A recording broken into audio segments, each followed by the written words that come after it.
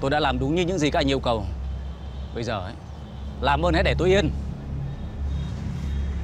À, Được rồi đấy chị ạ Ừ, chị cảm ơn nhé. Dạ vâng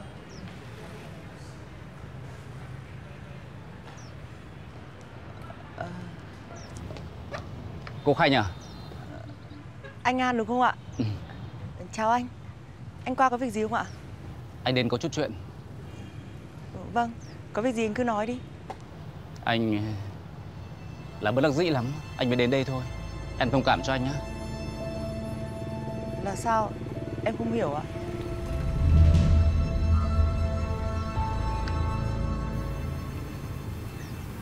Anh anh Tuệ nhà em vay tiền anh à? Mấy tuần trước Cậu ấy vay nóng tôi Cậu ấy có hẹn 6 tháng nữa cậu ấy trả Nhưng mà anh ấy mượn để làm gì ạ?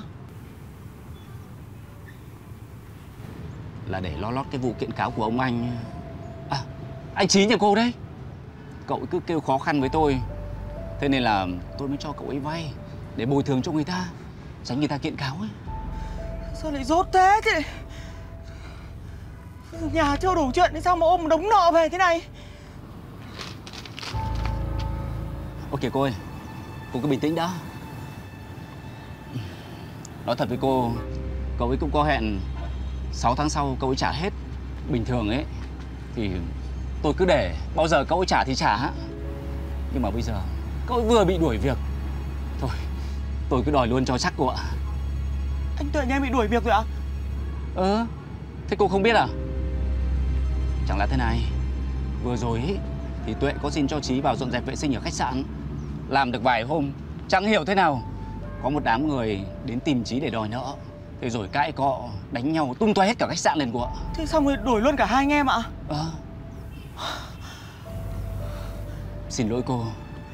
Ở khách sạn thì tôi cũng là bạn tốt của cậu Tuệ. Cái việc cho Trí vào làm ấy Là tôi cũng bị khiển trách đấy chứ.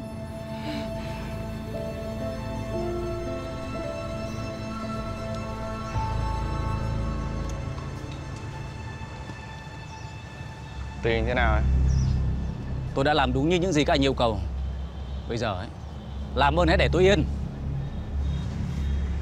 À, đã dặn dò xong đâu? Ông anh mà để bọn này phát hiện ra ông anh gian dối gì?